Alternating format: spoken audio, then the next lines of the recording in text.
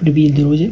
Це highlight з футбольного матчу. Я спілкую, я розповідаю про голи та моменти у футбольному матчі. І цей матч закінчився з рахунком 1-2. На 45 хвилині Леві Спотер забиває гол. На 71-й Мі футболіст Мі отримує червону картку пряму. І вже на 77-й хвилині Морено забиває гол. Балі дає йому асист, а Воткін забиває. І рахунок стає 2-1.